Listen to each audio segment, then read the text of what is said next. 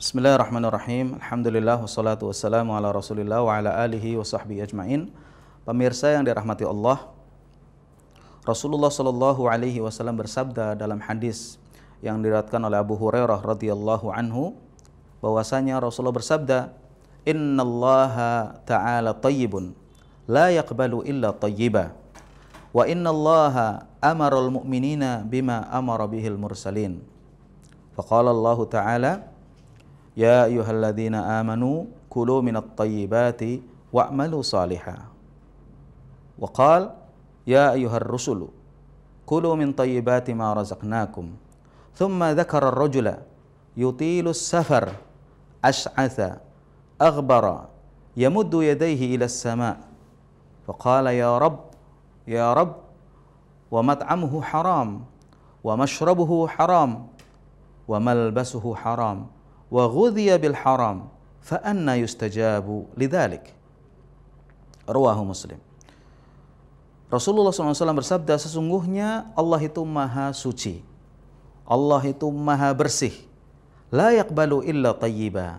Allah tidak akan menerima kecuali barang-barang yang suci dan bersih. Wa innallaha amaral mu'minin bima amara bihil mursalin. Dan sesungguhnya Allah menyuruh memerintahkan orang-orang yang beriman sebagaimana Allah juga menyuruh para nabi dan rasul.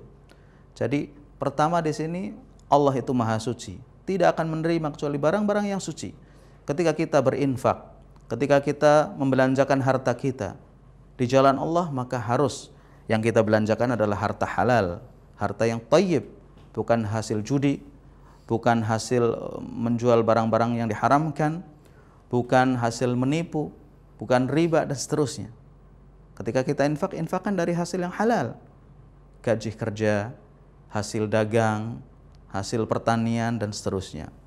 Kemudian Allah Subhanahu wa taala menyuruh orang-orang yang beriman dengan syariat yang sama dengan syariatnya para nabi dan rasul. Islam adalah agama yang tidak membedakan antara pemimpin dengan bawahan, tidak membedakan antara seorang utusan dengan umatnya umatnya disuruh sholat maka Rasul dan Nabi-Nya juga disuruh sholat. Umatnya disuruh puasa juga demikian. Ya. Tidak ada syariat khusus untuk orang-orang tertentu yang tidak dilaksanakan atau tidak diperintahkan kepada orang-orang oh, awam. Ya. Kecuali ada beberapa kekhususan untuk Nabi kita Muhammad SAW. Seperti beliau boleh menikah lebih dari empat wanita. Sementara kaum muslimin tidak boleh ini kekhususan. Ya. Beliau tidak boleh menerima sedekah. Ya. Haram hukumnya sedekah dan zakat untuk Nabi Muhammad SAW dan keluarga beliau. Ya. Kita boleh. Ya. Itu khusus. Ya. Salat malam wajib buat Rasulullah, buat kita sunnah.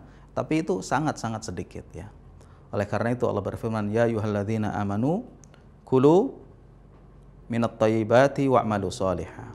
Wahai orang-orang yang beriman, makanlah dari harta yang halal dan beramallah soleh. Disuruh untuk memakan yang halal juga beramal soleh beribadah. Sebagaimana firman Allah kepada para nabi juga demikian ya ayuhar rusul kulu min tayyibati ma razaqnakum. Wahai para nabi makanlah makanan-makanan yang halal yang kami berikan rezeki kepada kalian. Jadi tidak ada bedanya.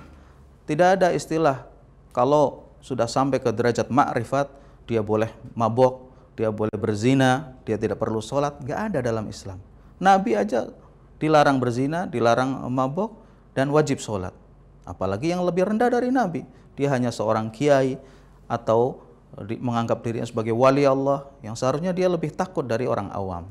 Thumma dzakara rajula yutilus safar. Kemudian Rasulullah menyebutkan ada seseorang yang melakukan perjalanan jauh, as'atha, akhbar, rambutnya compang-camping atau rambutnya kusut ya.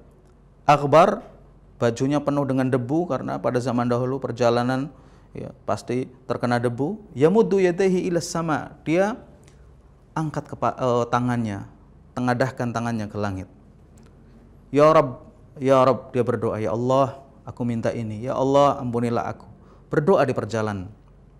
Padahal Doa di perjalanan adalah termasuk doa yang mustajab.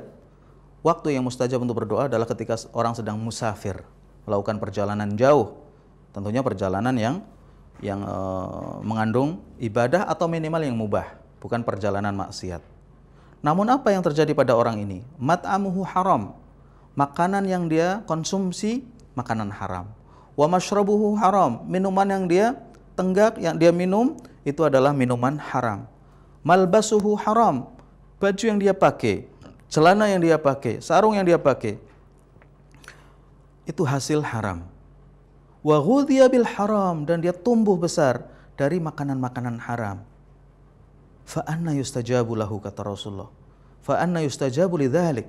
Bagaimana orang seperti ini doanya akan dikabulkan? Ikhwah dan akhwat yang dimulakan Allah.